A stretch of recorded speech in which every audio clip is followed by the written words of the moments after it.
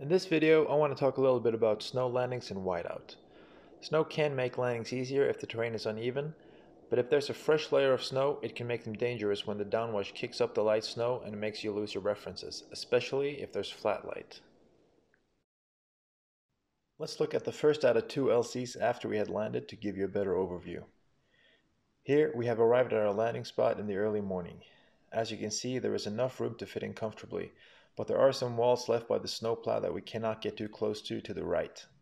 On the left, there is around 1 meter of clearance from the rotor even when stopped, so that's no problem. This is the second approach to this LZ on this day, but the light is nearly identical to the first approach. As we get closer and closer and start whipping up more and more snow, you can see that the features get harder and harder to see but the familiarity of the spot and the small amount of snow here lets me have a clear view of the trees up to my right.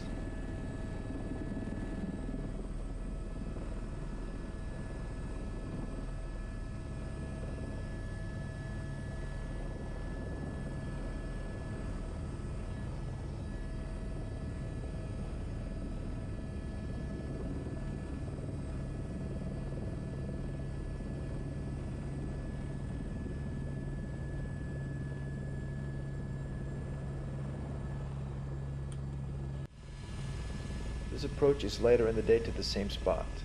The cloud cover has dissolved a little and the sun has risen. The light is reaching the surface and it is very easy to see the huge difference light makes as it highlights all the little details and shadows on the ground.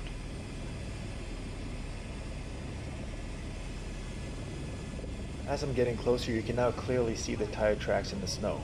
Having them in the peripheral is a huge help and lets you detect any drift immediately. Additionally, we put a bag in the front right of the landing spot for reference, which is standard practice. Clearly, the second approach has preferable conditions, but in this case, there was enough reference in the first approach to feel comfortable all the way to landing.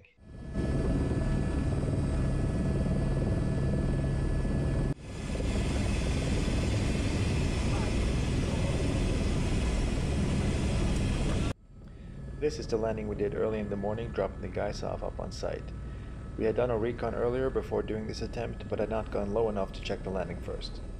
It seemed fine from the recon, and I had decided on a landing spot that seemed to give the best reference point with a little tree out to my right.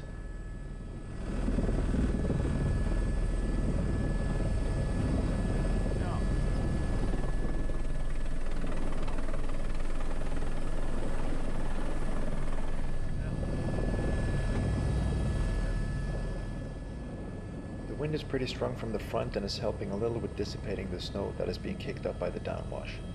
I still have references out to my right, but at one point there is very little. I keep flying it down since I can still see out to my right, and when I feel the skids touch the snow, I now have the mirror by my feet to help keep reference and keep me from drifting.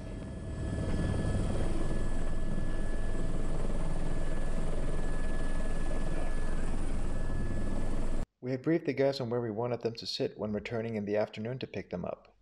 We told them to sit to the front right of the skid marks left in the snow to give me a better reference when landing.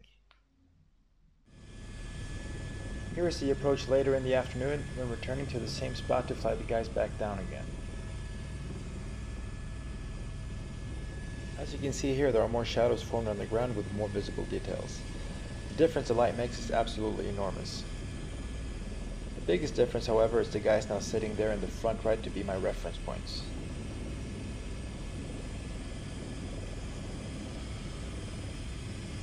When the visual references are this good, it makes the job infinitely easier and safer.